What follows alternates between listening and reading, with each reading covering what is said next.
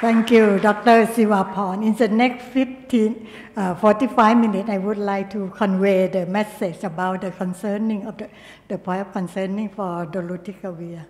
Firstly, I would like to thank the HIV-NAT and the patient who permit their story and photo for the presentation.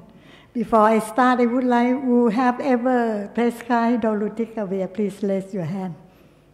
Not too many, nah. who have never prescribed, We didn't know about this name. okay, uh, this is the chronology of the antiretrovirus. We start in the 1987 with the the reverse transcriptase inhibitor. And the second class is a protease inhibitor, which is very potent.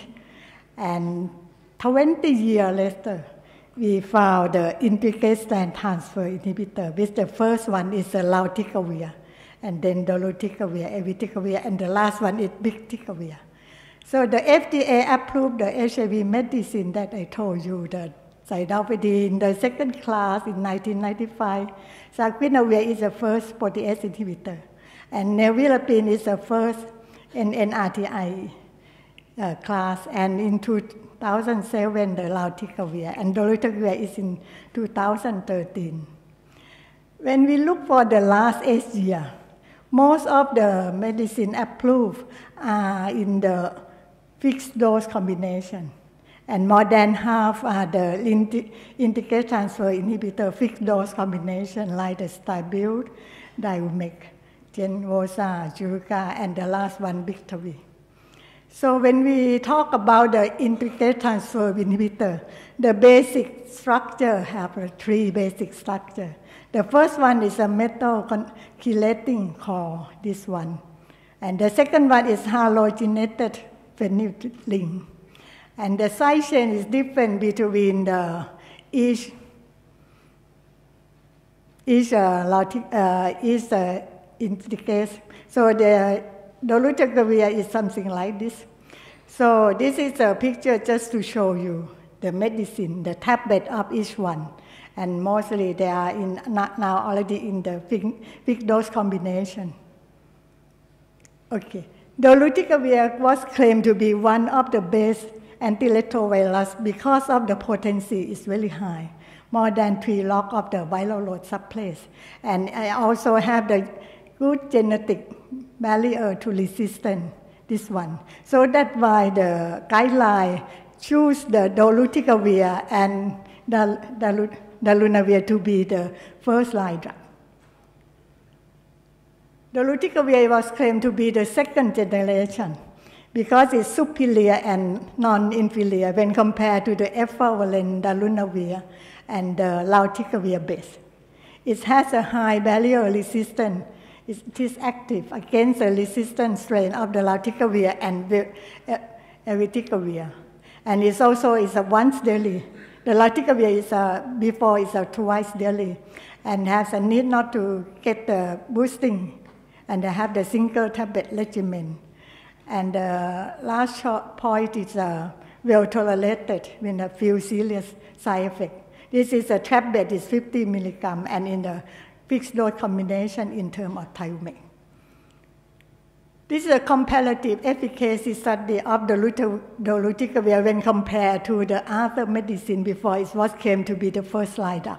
In the single study on New England Journal in 2013, when compared to the efavirenz and in FLAMINGO study in the Lancet 2014, when compared to the darunavir, it was a team, seemed to be the efficacy is superior than the efavirenz and darunavir.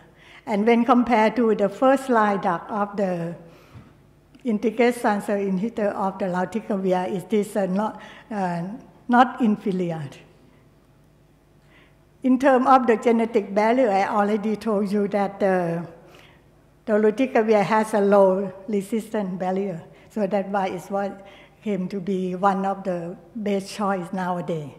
The profile comparison between the integrase transfer inhibitor among the raltegravir, abicavir, and dolutegravir, we can observe that dolutegravir have the advantage in terms of the tolerability, in terms of the high genetic barrier, and low drug drug interaction and have the single pill regimen. Since uh, 2016, most of the guidelines recommend as dolutegravir to be the preferred initial first line regimen. And in 2018, WHO have already changed.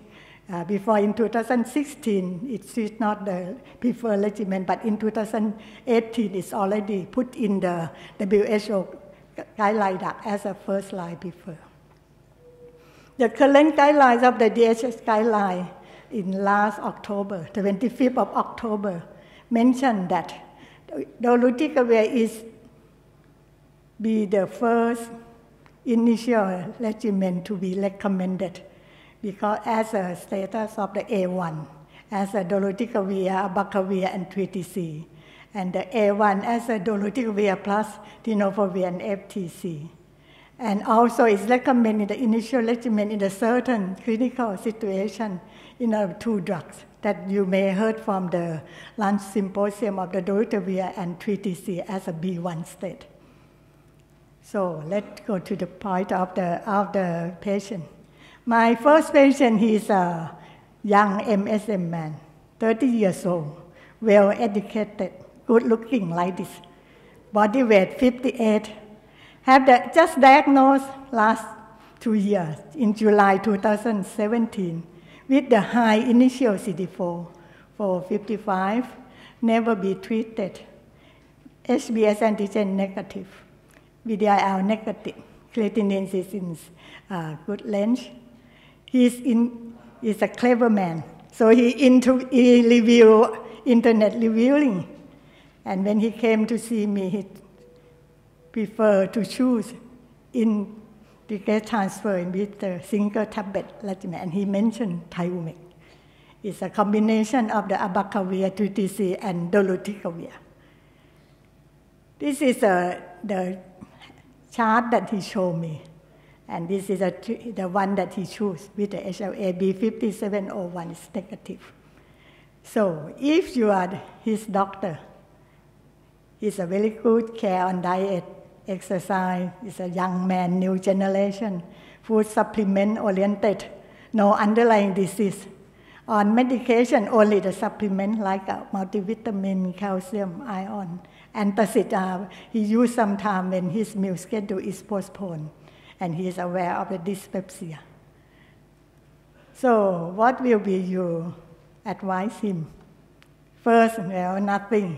He already covered, no significant uh, you want to stress him that he should separate the antacid two hours before and six hours after of the dolutegravir, or you would like to separate the antacid calcium two hours before and six hours after, or you would like to separate all entire medicine that he take two hours and six hours after the dose, or you have no idea. Uh, sorry. Okay, please vote. What, what number that you would like to spread to him uh, before you prescribe the dolutegravir? Oh, okay. The, nine, the, the maximum one is straight that uh, all of the entire medicine should be the separate, and the second one is uh, only the calcium and the and the, okay, the calcium and antacid. So I would like to stress to you that the integrase transfer inhibitor, they have to contain two key components, the chelable region and hydrophobic region, which is uh, in, have an interaction with the metal cation containing medication like antacid. So the dolutegravir may form the complex with the magnesium and the alu- aluminum containing in antacid. It can form complex with the calcium and iron supplement or even vitamins, resulting in the reduction of the exposure to dolutegravir. So this is a study in the 2011 by Patel that if you take the dolutegravir with the antacid in the red line, you can see that the exposure or the level of concentration of the daughter will be reduced more than half. And if you take it with the antacid, you have to separate it's two hour. Take the, uh, the dolutegravir before the antacid two hour, or the antacid two hour before, after the dolutegravir that, to, that you can boost the level to be similar to the dolutegravir alone. So you have to separate the dolutegravir with antacid two hours. And uh, about the calcium, the calcium supplement, this is a study about the calcium carbonate supplement. If you take the dolutegravir and separate two hours, you can see that the level is similar. But if you take the dolutegravir with the calcium in the fast, you can see the level of the dolutegravir will be reduced. But if you take it together with the food, this can uh, uh boost the dolutegravir level to be similar to the dolutegravir. So if this young man want to take the calcium supplement, you have to stress him that you have to take with food uh, or two hours uh, separate. About, about the ferrous fumarate, it's similar with the calcium. You have to take it uh, two hours uh, separate or with the food together with the food. This is just to show the interaction, the effect concentration of this drug that can reduce the dose of the dolutegravir. You can see the maximum with the antacid can reduce the area under curve up to 75%. So the clinical comment is to decrease, uh, because of the decrease of the dolutegravir plasma concentration, it recommends that you have to take the dolutegravir two hours before or six hours after the antacid similar to the iron and the calcium that can de- suppress or de- decrease the, the level up to 50 or 40 percent. Okay. After four weeks that he take the, the dolutegravir, his creatinine, creatinine lost to from 0.8 to 0.92. He was quite concerned, this young man, and asked you or asked me, what will be our explanation or plan for him? The rising of creatinine could be the lab variation. Follow up the creatinine next three months. Uh, dolutegravir itself deteriorate renal function, so we have to reduce or adjust the dose. Or it might be the dolutegravir effect. We have to follow up next three months, or you have no idea.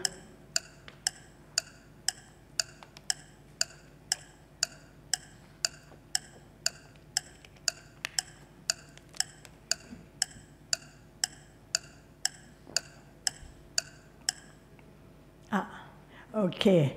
Uh, maybe you take a choice that uh, to, most of you are the dolutegravir effect that can increase the creatinine level and follow up next three months. Okay.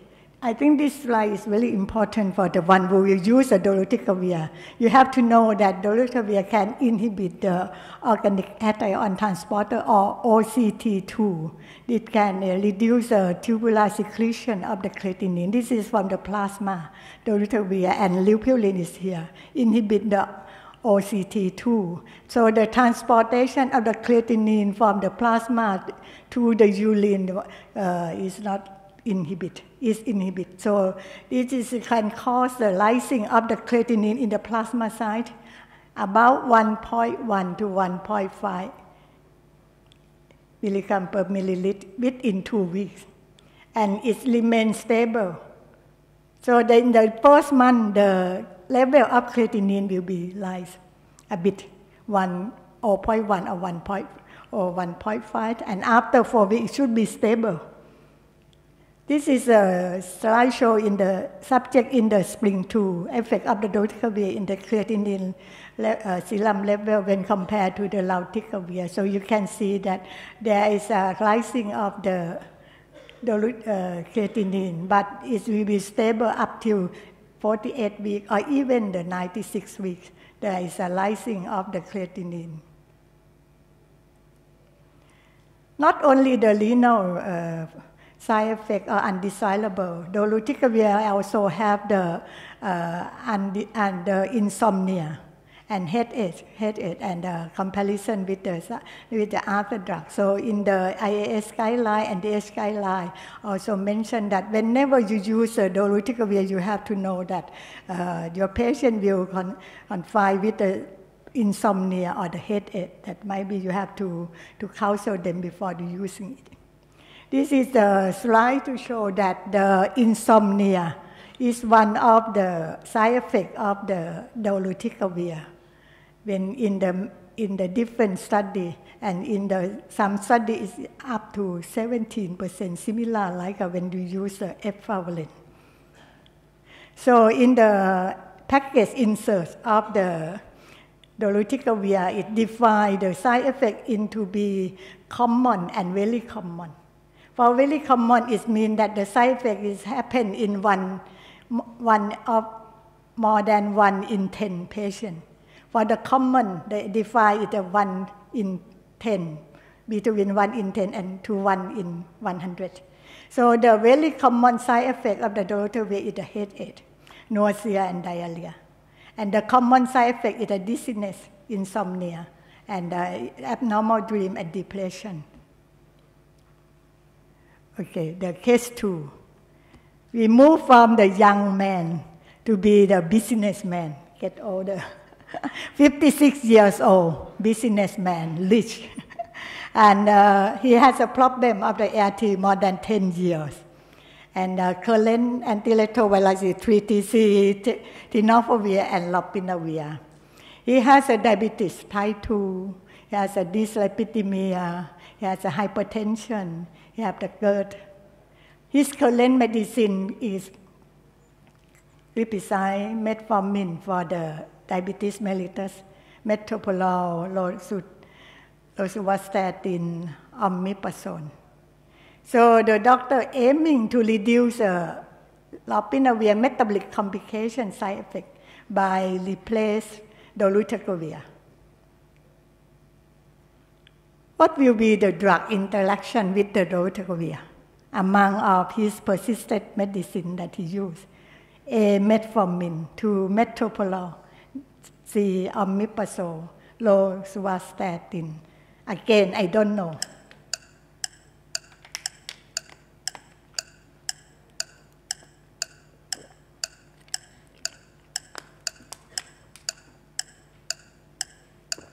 I think this one is easy, maybe the most easiest one. Yeah, uh, no one choose metoprolol. okay, 17 choose metformin. I think this one is a very important information that dolutegravir will inhibit OCT2 in kidney, and the metformin is actually unchanged in urine. So mainly to the OCT2. So if you use uh, dolutegravir with the metformin, the plasma exposure of the metformin will increase. This is very important. And the more you use dolutegravir, the more increased level of the metformin. It's a dose dependent. This is a study in year 2014 when you use a metformin with the dolutegravir 50 milligram, the level of uh, metformin will increase. And when you increase the dose of dolutegravir in the resistant case to be 50 milligram every 12 hours, you can see the level of the metformin is more increased. so be careful when you use a metformin, which is one of the common drug that the patient use. There is an effect of the concentration to the dolutegravir. If you, the, your dose of dolutegravir is 50 milligram once daily, uh, the area under curve of the metformin will increase up to 80%. But if your dolutegravir is up to twice daily for the resistant case, the area under curve of the metformin increase up to nearly 150%. So you have to monitor and be consider the metformin dose adjustment when you start or you stop the dolutegravir. This is very important. So one of the most uh, drug interaction of the dolutegravir you have to know is uh, metformin. This is a study uh, of the dolutegravir once daily and twice daily, and also in the big Tikavir that you can see that the level of the metformin level is high. And there is a stress that usually is not cause of the lactic acidosis, very rare, but you have to avoid the high metformin dose like a 2 gram per day, especially in the patient who are uh, moderate uh, renal function impairment, like a uh, GFR less than 60. Okay, the last case. We have two cases of a man, one case of the lady, young lady. Anong. Anong is a 24 years old, poor compliance, failing to previous ART regimen. Her first regimen is uh, uh, tenofovir FTC equivalent.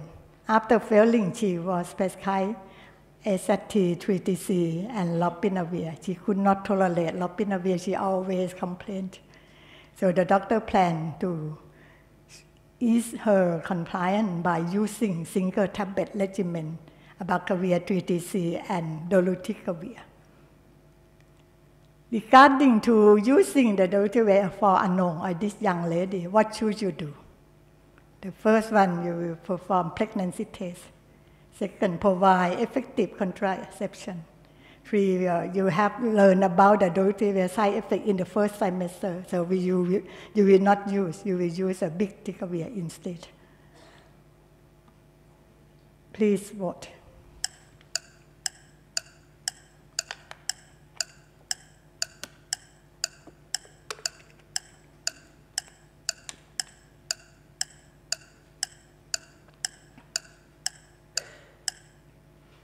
oh, the C, D, which is collect.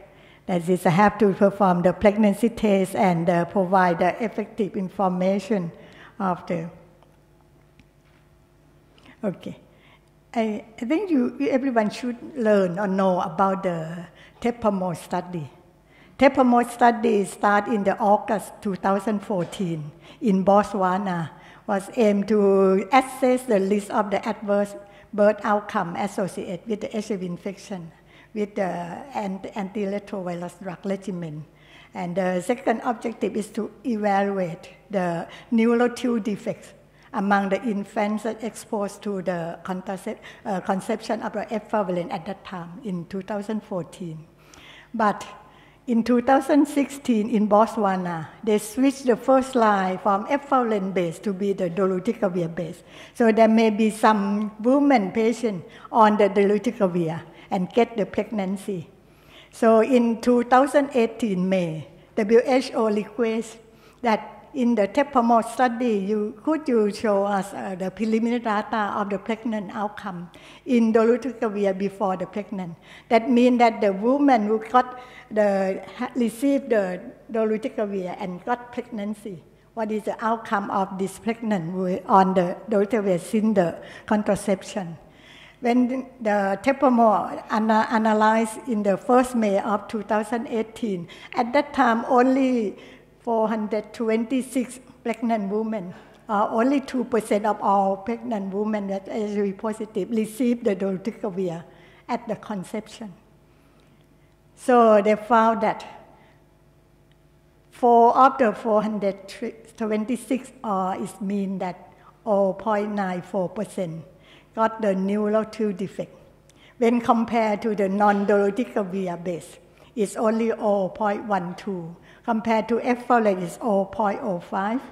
Uh, if the we're using after the first, uh, first trimester, that means that in the late trimester there is no neurological defect happen occur. So it's higher neurological defect prevalence in dolutegravir exposure at conception infant when compared with the dolutegravir. So you remember in May, June last year, there is an announcement of the WHO warning about the, the side effect of dolutegravir in, in the one who pregnant who got the dolutegravir since the conception, This is very high when compared to the other lady on the other regimen. Anyhow, in July 2018, when there's a more pregnant woman on dolutegravir got pregnancy and deliver up to 596, there is no new case of neural tube defect. So the prevalence is on 0.67 reduced. So it's aimed that the investigators suggest that the, this data we have to follow, and we have the plan to analyze in the March this year. So next two and a half months we will have the new data. It may be similar to the effluent story or not. In the DH guideline last October, they, meant, they used the, the data in the July 2018 that among the 596 women have the neural tube defect 4 case, it means the 0.67 when compared to the other regimen, only 0.1. So it still recommend that not not use the dolutegravir within 12 weeks of the post-conception or not recommend in the lady who will not who have potential pregnant but have no effective contraception. So this is a guideline use of the dolutegravir in the woman. You can see in the list of all guidelines uh, in the list or the early early pregnancy is uh, forbidden for using the dolutegravir. But for the child bearing who have effective contraception, you allow to have the dolutegravir. Okay, I think uh, I to the finish with the point to concern when you're using the the use of dolutegravir. The first one I point the adverse event, not only the slightly increase of the creatinine temp, Uh, temporarily, but also the insomnia, the psychotic adverse event. The second one I mentioned about the drug-drug interaction of the polyvalent cation and dolutegravir and the metformin and dolutegravir. And the last one, I talk about the neural tube defect in the female. And you have to be aware to use a female childbearing in the early pregnancy use. My last concern. Not that three point, but in fact, it's a dolutegravir availability in Thailand. It's, a, it's a, one of the unfortunately that even the dolutegravir can be announced that we have a chance to use in April 2018. I have a chance to use a combination pill in a very cheap price in the low middle income pay, uh, country. But in Thailand, in the green one, you can see it outside the license. And, but in fact, it's, uh, we can use it by can procure the generic drugs. But now today, even today when I stand here, we did not have the dolutegravir in hand of the national drug policy. So uh, I hope that my FDA that we hear, or I think you agree that we hope that Thai HIV patient need not to wait too long official process to get the, to have the dolutegravir legislation. Thank you for your attention.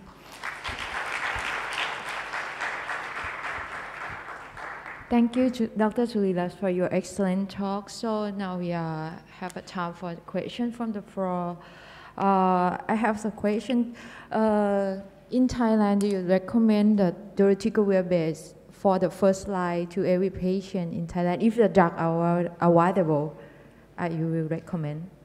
Uh, we have the draft for the new guideline. Our current guideline is uh, 2017 and 2018 January. So we are now in the period of drafting the, the guideline, and we plan to put, put and push dolutegravir to be the first line drug because that to push the FDA that uh, if we did not put it in the first line, maybe the FDA will not recognize that it's, uh, it's an essential drug now. Uh-huh. And uh, do we have to worry about the drug resistance I mean, if you use uh, it, the dolutegravir more, and you, do we have to worry about the drug resistance? Yeah, I think that the Thai, Thai patient is a. uh, prove them, him, themselves that the, the adherence not so bad. In fact, uh, we, we, we learned that they, they only the, a number of patients. So dolutegravir profile, if you use in the combination, they did not show uh, about the the drug resistant or failure. But if you use it with, with the single, there is a one study about using the dolutegravir alone. is it have the, the mention just only the day before yesterday in the 10th of January or something, that the, the factor that predict that the, the resistance in using the dolutegravir monotherapy is depend on the, the level of the CD4, the level of the viral load, and the duration that they are on the HIV before the treatment. Maybe Okay. some question from the audience. Yeah. Thank you. Question. Maybe Okay. gentleman first. Foreigner gentleman So, doc- first. Dr. Dr. Anjali, go So, first. um, um, so I just would like to, to ask the speaker and also the audience in terms of uh, scale, scale up using dolutegravir in this region. Because for African country, the WHO promote that because they have high prevalence of uh, drug resistance, high prevalence of in, in RGI resistance. So I don't know whether do you have any idea whether we should follow up on the WHO recommendation or we still using NNRI based regimen. So right now for uh, DTG, I think the, the issue is about, uh, as she said, about the uh, pregnancy outcome. And also another thing is that we need more data on uh, tuberculosis treatment for DTG. So, uh, so any, anyone have an idea whether we, we should scale up using this drug in the region?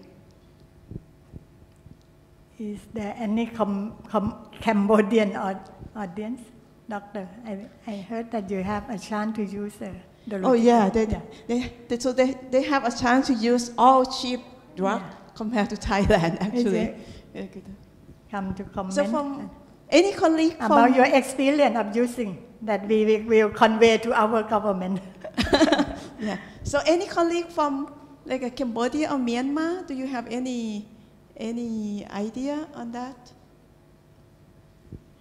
Or we just go with DTG because it's a potent high genetic barrier, so we should like uh, uh, put hard uh, to, to, to, to uh, hit, hit hard to the, the virus and then we don't think about the drug resistance in the future.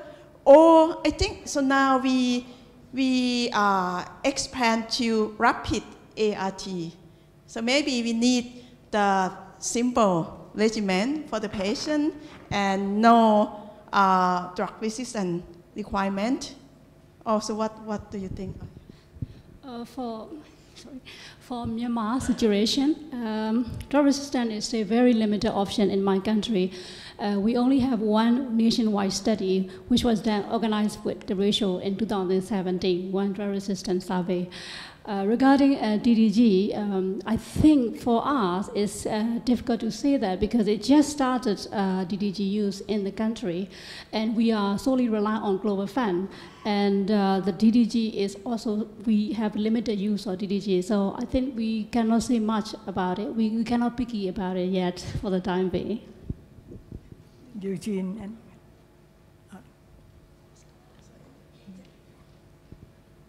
Uh, Good, good afternoon, Adan.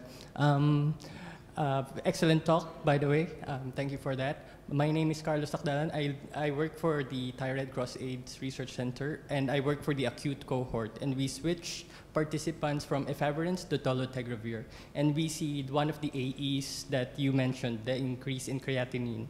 Uh, what happened is that our patient, some of our patients actually had more had a greater decrease in their EGFRs. So some of them had like more than 30% decrease, or some of them had less than 60 EGFR. And what we did was we used cystatin C Yeah. to confirm the, the EGFR decrease. And when we used cystatin C, it was, it was actually not, did not change, or or it was normal. The problem is that cystatin C is expensive and I don't think it's scalable in like if we roll it out. So my question would be, do you have any tests that would confirm the the renal function, or if you have any other parameters that you use for the kidney function? Yeah, I have already talked about the, uh, the mechanism of the lysing of the creatinine. Usually it will lyse only the two or four weeks at the beginning, and the magnitude usually is uh, only not more than 15%, or, or just only 0.1 to 0.15 elevation of the baseline creatinine. And after the four week, this one should be uh, steady, even now until the 96 week.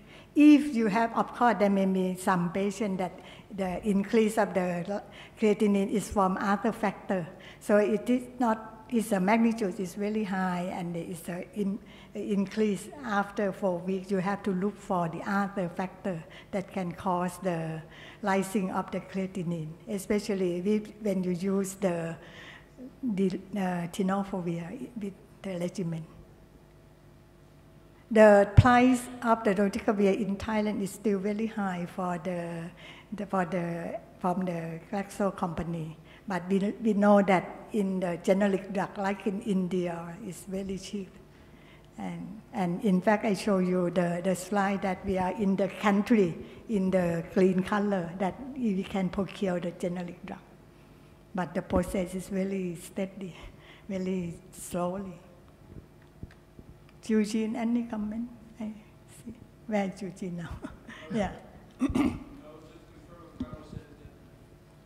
We, we do see far, uh, far more decreases than in the Caucasian in the SPRING studies. So I think for, for clinicians in the region, it's going to be very confusing. We really see decreases uh, of, of 30%. So I think we're going to get a lot of patients with workup if we don't have other means to, Yeah, yeah. to figure out what's going on. Yeah, yeah. Be careful.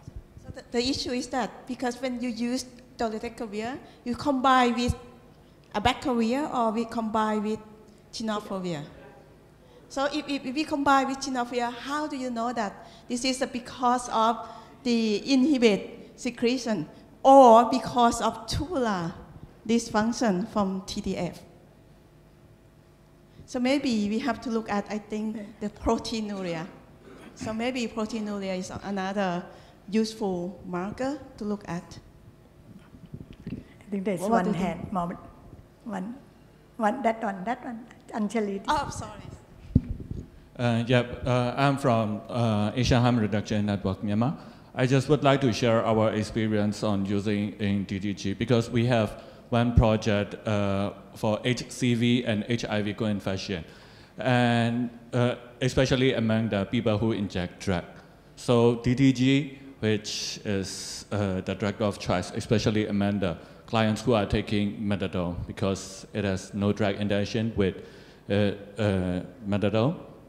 And also, uh, in, in our study, after uh, uh, initiating with DTG, the virology response is very good. And after six months, uh, because we have around 300 clients who are on HCV and HIV co-infection, and almost everyone, they have viral suppress. Yeah. Thank you for your comment and information. Another comments or question? Okay. Okay, thank you, Dr. Sulilat.